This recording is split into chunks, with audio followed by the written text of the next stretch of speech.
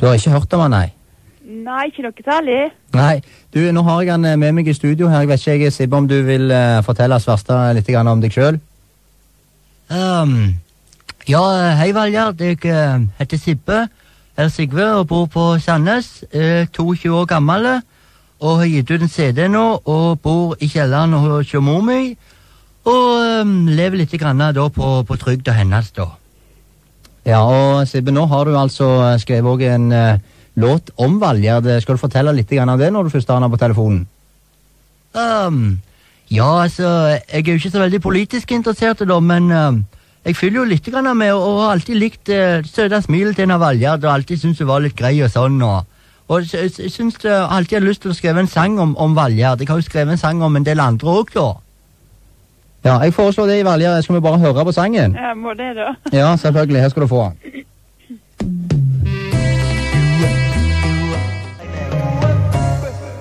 Ja, det var låta, Valgjerd. Ja vel.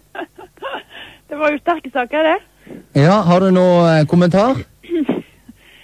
Ikke noe annet at det, det, han må jo være en humorist, han her som har skrevet denne sangen. Eh, ellers er jo jeg ganske godt gift fra før, og trufast med, med han jeg er gift med, så det blir nok ikke noe eventyr på si, nei. Sibbe, har eh, du noen kommentar til dette her? Um, ja, altså Jeg var ikke klar over at du var gift, da, Valja, men uh, eh, vi har jo tenkt på deg og, og, og sånn mye, da. Jeg, jeg, syns, syns det var kjekt at du ville høre på sangen og, og, og sånn, da, men um, um, sånn, i, sånn allikevel, Du, du, du er godt gift, altså, ja? Jeg er nok det, ja. Ja vel, ok.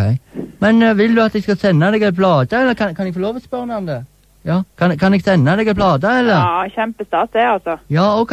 Men husker du, eh, syns du det er en sang som du husker etter en gang, og er det en sang du vil spille for mannen, eller noe sånt? Jeg er jo nødt til det.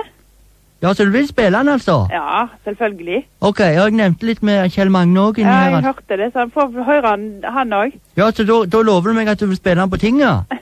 ja, det er greit, det. Sånn spørrerunde, går det an, så spille den der? Det tror jeg, Da tror jeg jeg blir klubba ganske fort. Ok. Ja, men da har vi iallfall oppfylt eh, drømmen til Sigvi fra Sandnes, og sier tusen takk for at du var med oss, Valgjerd. Vi skal sende deg et eksemplar med. Kjempekoselig, det.